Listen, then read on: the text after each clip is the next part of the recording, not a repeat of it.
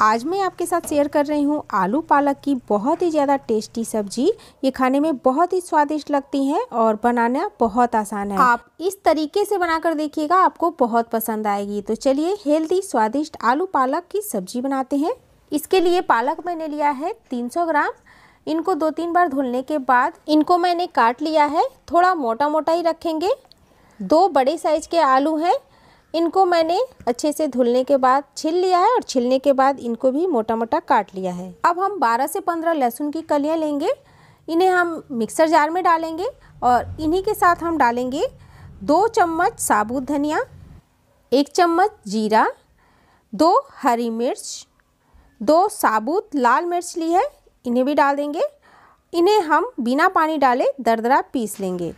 देखिए इस तरह से अब इसी जार में हम दो टमाटर को काट कर डालेंगे और इन्हें भी हम पीस लेंगे। बहुत महीन नहीं करेंगे, इस तरह से रखेंगे।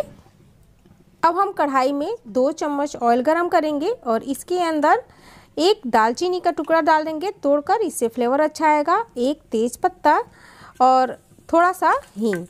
अब हम इसके अंदर प्याज डाल देंगे। तो एक प्याज को मैंने बारीक काट कर लिया है। इन्हें हम अच्छे से मिक्स करेंगे और इसके बाद हम इसमें डाल देंगे ये पीसे हुए मसाले। इन मसालों को हम प्याज के साथ थोड़ी देर भूनेंगे जिससे इनका कच्चा फ्लेवर निकल जाए और प्याज भी अच्छे से भुन जाए।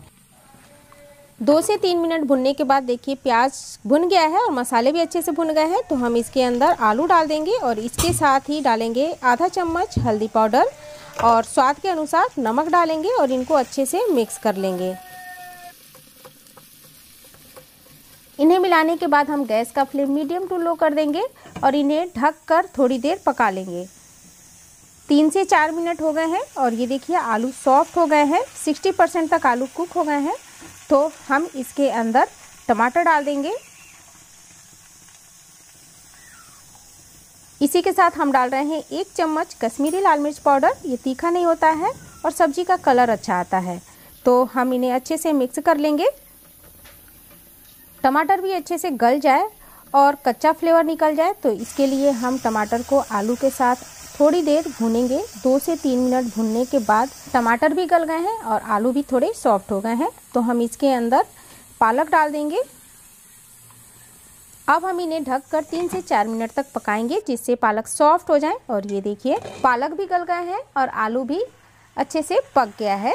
तो हम इन्हें एक बार और मिक्स कर लेंगे। दो से तीन मिनट तक इन्हें चलाते हुए पकाएँगे, जिससे पालक थोड़े न और नरम हो जाए और पालक से पानी रिलीज़ हो जाए। तो देखिए, इसमें पानी डालने की बिल्कुल भी ज़रूरत नहीं है। अगर आपको और जूसी चाहिए तो दो चम्मच पानी डाल सकते हैं। आज हम बना रहे हैं लहसुनी आलू पालक। तो हम इस सब्ज़ी में लगाएँगे तड़का। तो इसके लिए तेल गरम कर लिया है। इसके अंदर डालेंगे एक चम्मच बारीक कटा हुआ लहसुन और आधा चम्मच कुटी हुई लाल मिर्च। बहुत अच्छा टेस्ट आता है।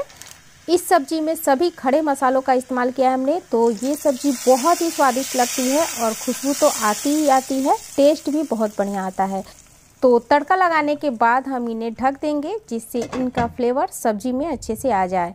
और दो मिनट बाद हम इन्हें सर्व करके दिखाते हैं।